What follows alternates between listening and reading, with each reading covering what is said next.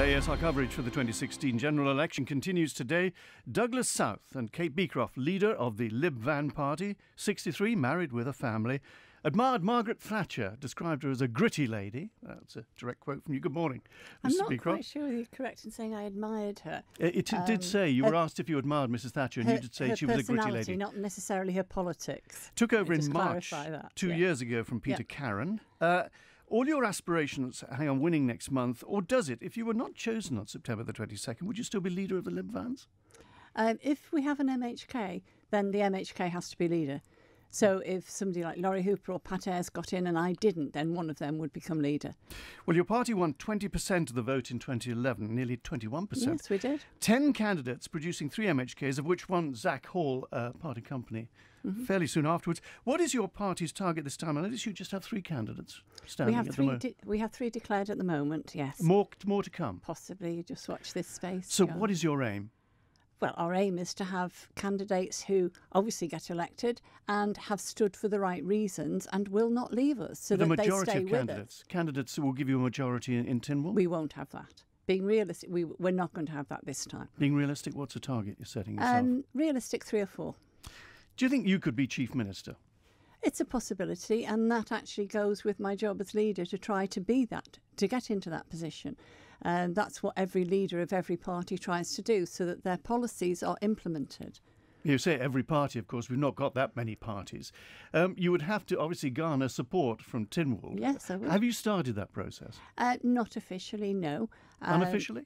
unofficially, I think everybody's been talking about who is going to be the next chief minister, uh, sort of for months, to be honest. Whether it was going to be Allan Bell, because at that time he hadn't said he wasn't standing again, um, or whether it was going to be some others. But some of the independent candidates, um, if they get in, if they're successful, I do know that.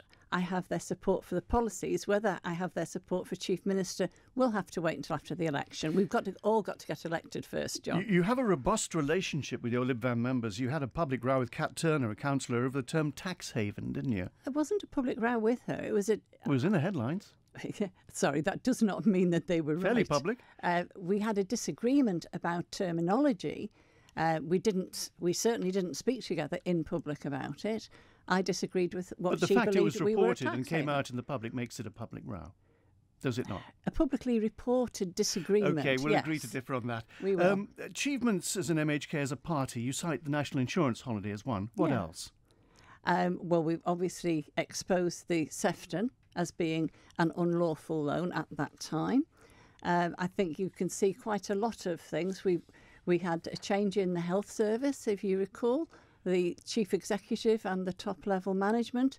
Um, that was initiated by Liberal Do you think that's enough, though, as a, as a the probably the opposition party? Well, I prefer to think of us as a scrutiny uh, rather than just the opposition, because if we're opposition, we're doing a pretty rubbish job given that we vote 90% of the time with government. That, that is what I say. You But- have regularly support the government when they're doing the right thing, which is about ninety percent of the time. That's not right. what strikes the public. They No, it isn't. think- And that's because what gets reported to the public is the times when we disagree.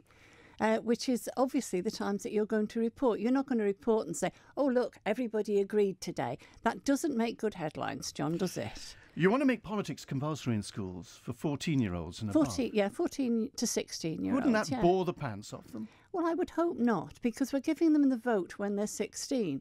And I would like to think that they had the fundamentals of how our system works before they a- actually exercise that vote and that it would engage with them to show them why it's important that they use their vote This is and very use worthy. it carefully. This is the sort of thing fourteen-year-olds are into.